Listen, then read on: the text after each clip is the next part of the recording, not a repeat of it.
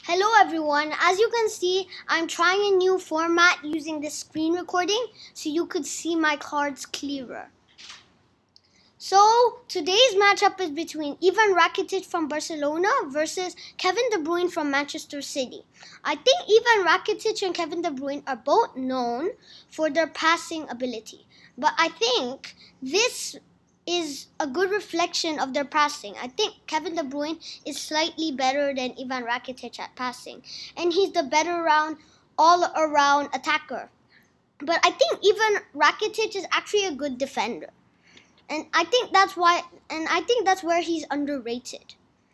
So I think De Bruyne is a better attacker, but Rakitic is a better defender.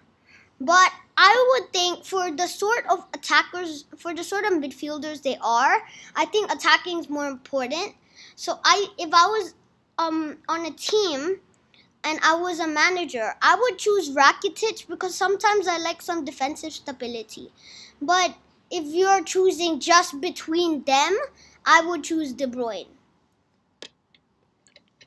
So so as you can see, I tried this new format. I hope it's worked well. And go and check out some of my other videos. And if you like this one, like this video and subscribe to my channel. Thank you for watching and see you next time.